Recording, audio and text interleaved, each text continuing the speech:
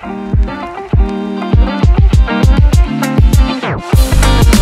morning, King George County Schools. It's Friday, August 18th, and this is the end of our first full week of school, Monday through Friday. I think it's been a very good week, and I'd like to most certainly start with some good news. So, if you were able to see the Free Lance-Star yesterday, there was a story in there that read King George Schools selected for phase two of federal contest. So, one of our goals in our strategic plan is quality instruction and innovation. And within that goal, you'll see a lot of mentions, uh, or, or, a lot of uh, strategies mentioned that uh, talk about integrating authentic real world experiences in our curriculum, talks about expanding our CTE program and our vocational offerings. And I'm happy to report that our this announcement um, puts King George County Schools in one of 100 schools across the entire nation that was chosen for the Career Z Challenge, which is uh, a challenge brought forth by the U.S. Department of Education. Uh, and it really puts us in phase two. So it uh, already has awarded us $10,000 so that we can implement our uh, Foxes Academy. Please read the article and it'll tell you more about that. And uh, it really puts us in the running for a $2.5 uh, million federal uh, prize. So it is very exciting. Uh, we're moving in the right directions in King George County schools, and uh, we are so appreciative of the folks that uh, did the legwork to get this done. So that's the wonderful news that uh, I'd like to share with you this morning. Secondly, um, as we begin to start schools uh, all across the Commonwealth, all 132 school divisions across the Commonwealth begin to open up again. Uh, just like clockwork, if you turn on the news, you start to see uh, stories about uh, challenging uh, subjects that, that many school divisions are dealing with. And uh, I felt compelled, not only have I been thinking about this a lot, but compelled to kind of relay to our community the approach that we've taken in King George. Uh, King George County Schools' approach is one that attempts to put parents in the position to make decisions they feel are most beneficial for their child. Uh, we realize that everyone doesn't share the same views when it comes to library books, when it comes to instructional materials, when it comes to other uh, challenging issues that we're dealing with in society right now. Therefore, our hope and our approach is twofold. Uh, it's one that puts parents in the driver's seat, uh, and I'll describe some of those tools that we have that um, empower parents to make decisions for their child. Uh, and number two, and I think most importantly, it, it alleviates our children from many of the distractions you see uh, on the news and, and many other school divisions. And with all due respect uh, to those other school divisions, our focus, I believe, has to remain in King George County schools um, our, towards our students. We need to make sure that we limit those distractions and we allow them to focus on their main priority and the main goal of, of getting an education.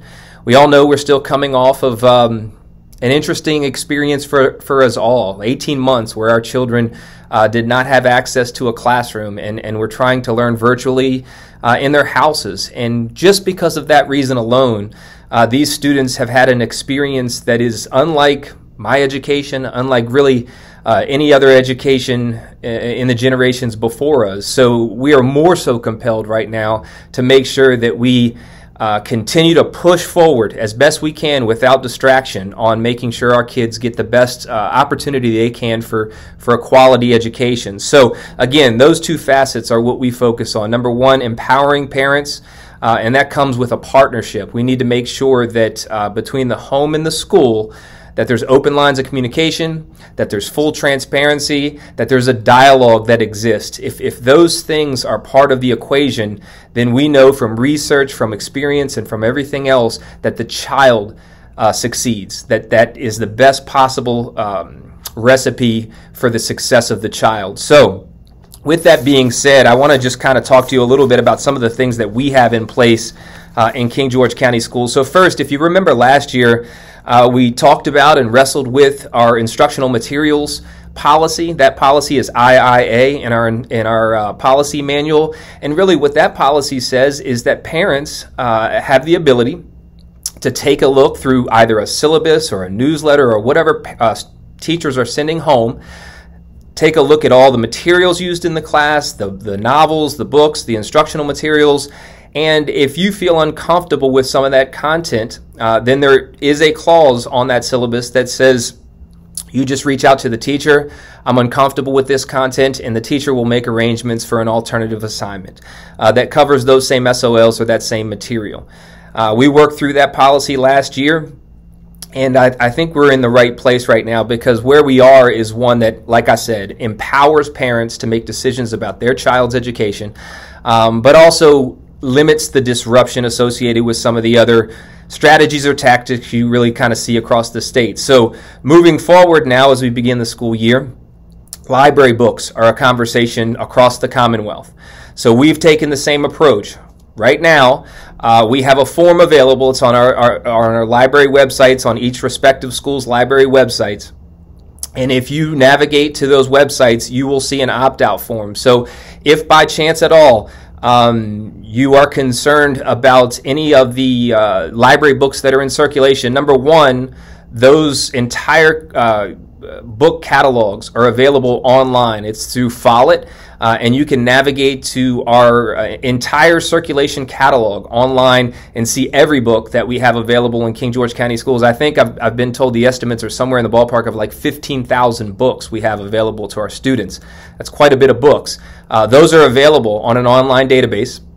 And if for any reason, um, there are uh, titles, books, anything of that nature that um, you're not comfortable with, you don't think your child's comfortable with, there is an opt out form. So you can uh, just simply send that back into the school, and we'll make sure we make arrangements so that uh, those books uh, in circulation are not available uh, to your child. Uh, we will continue to have the Ask the Superintendent uh, on, on our webpage. If you have questions, if you have concerns, please continue to just log on, click that link, and uh, ask me a question. And it, your question may be others' questions as well. So uh, I don't mind making a video and seeing what I can do to address it, the, the concerns that you have and maybe others have as well.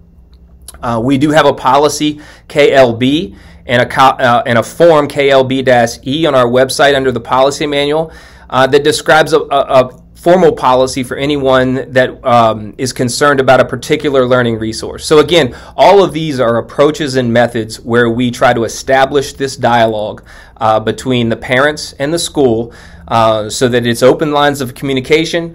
Um, on the front end of that, as I mentioned before, we're trying to be as open as and transparent as possible when it comes to letting you know what uh, instructional materials are, are being used in the classroom through the syllabus or through a newsletter by our teachers, uh, through our online uh, Follett library circulation catalog. Uh, we're really hoping and trying to make sure that you know what's going on in the schools and making sure that parents are in the driver's seat of their child's education. So uh, we'll continue to push forward with that effort, making sure that um, we meet those two goals uh, in theory that uh, I described on the front end of this. And, and those are number one, uh, making sure that parents are in the driver's seat and they are partners with the school division. And number two, we laser like focus on our child's education. We know that they are behind. Learning loss is a real thing after the 18 month uh, layoff. And we need and we must make sure that we minimize the distractions for our students and give them every opportunity they have uh, to get an education they deserve. So I appreciate uh, everybody's questions. Please keep them coming. Uh, I want to remind you guys, as I mentioned before, the relationship between the school division and the home is um, a very important part of your child's success. Uh, if you do have questions, please reach directly out to the school. I know Facebook is out there and I know it's entertaining, but folks, it's not going to be the best place for you to find the answers that you need. I, I kind of use this hierarchy to, to uh, when I speak with uh, folks in the community. If you have an issue that's related to a particular classroom, reach out to the teacher. If you have an issue that's related specifically to the school, reach out to the school administration. And then if you have an issue related to the school division, reach out to me. I'm an email away, I'm a phone call away. You can certainly go online and ask the superintendent. And uh, we're here for you. We want to make sure that this school year is a successful one for you and for our students. Uh, so we're trying everything we possibly can in that effort. Thank you guys. Have a wonderful week, and we look forward to an, an, another uh, amazing week of school here in King George County Schools. Thank you so much.